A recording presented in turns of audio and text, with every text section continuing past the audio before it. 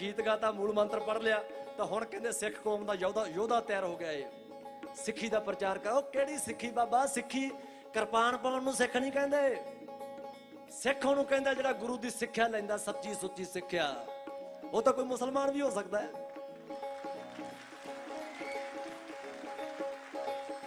ਉਹ ਬਾਬਾ, ਇਹ ਕਟੜ ਕਟੜਤਾ ਵਾਲੇ ਸੌਦੇ ਨਹੀਂ ਐ। ਇਹ ਇਹ ਧੌਣ ਚ ਡੰਡਾ ਡਾਉਣ ਵਾਲੇ ਸੌਦੇ ਨਹੀਂ ਐ, ਇਹ ਤਾਂ ਪ੍ਰੇਮ ਦੇ ਸੌਦੇ ਐ। ਪ੍ਰੇਮ ਦੇ ਸੌਦੇ। ਉਹ ਭਾਈ ਮਾਂਝੀ ਵਾਲੀ ਅੱਜ ਅੱਜ ਆਉਂਦੇ ਹੋਏ ਦਲਜੀਤ ਬਾਈ ਹੁਣੇ ਸੀ ਕਾਰ ਜਦੋਂ ਹੋਟਲ ਤੋਂ ਆਇਆ ਤਾਂ ਭਾਈ ਮਾਂਝ ਵਾਲੀ ਕਥਾ ਚੱਲ ਰਹੀ ਸੀ, ਬਾਬਾ ਰਣਜੀਤ ਸਿੰਘ ਜੀ ਸੁਣਾ ਰਹੇ ਸੀ। ਤਾਂ ਸਾਰਾ ਹੀ ਪ੍ਰੇਮ ਦਾ ਸੌਦਾ ਸੀ, ਸਾਰਾ ਹੀ ਪ੍ਰੇਮ ਦਾ ਸੌਦਾ। ਉਹਨਾਂ ਨੇ ਆਪਣੇ ਬੱਚੇ ਤੱਕ ਵੇਚਦੇ ਯਾਰ, ਆਪਣੇ ਘਰਾਂ ਤੱਕ ਨੂੰ ਅੱਗਾ ਲਾਤੀਆਂ, ਸਿਰਫ ਦੁੱਧ ਪਿਉਣ ਵਾਸਤੇ, ਉਹ ਵੀ ਆਸ਼ਕ ਸੀਗੇ।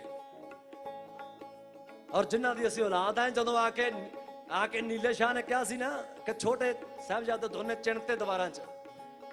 ਤਦ ਬੋਲ ਕੇ ਤਾਂ ਦੱਸਿਆ ਹੀ ਨਹੀਂ ਗਿਆ ਉਹ ਤੋਂ। ਤਾਂ ਗੁਰੂ ਸਾਹਿਬ ਕਹਿੰਦੇ ਸੀ, ਪਾਗਲਾ ਰੋਈ ਕਿਉਂ ਜਾਂਦਾ ਹੈ? ਜਿਸ ਦਿਨ ਮੈਂ ਪੰਜਾਂ ਨੂੰ ਅੰਮ੍ਰਿਤ ਛਕਾਇਆ ਸੀ, ਤਾਂ ਮੈਨੂੰ ਉਹਨਾਂ ਨੇ ਕਿਹਾ ਸੀ ਕਿ ਸਾਡੇ ਤਾਂ ਸਿਰ ਮੰਗ ਲੈ, ਤੂੰ ਕੀ ਦੇਂਗਾ? ਤਾਂ ਕਹਿੰਦਾ ਉਸ ਦਿਨ ਮੈਂ ਪੰਜਾਂ ਨਾਲ ਵਾਅਦਾ ਕੀਤਾ ਸੀ, ਜੇ ਲੋੜ ਪਈ ਤਾਂ ਸਰਬੰਸ ਵਾਰ ਦੂੰਗਾ। ਅੱਜ ਗਏ ਆ ਸਾਰੇ, ਕਰਜ਼ਾ ਹੀ ਅੱਜ ਲਿਆ, ਬਾਬਾ ਕਹਿੰਦਾ ਮੇਰਾ ਤਾਂ।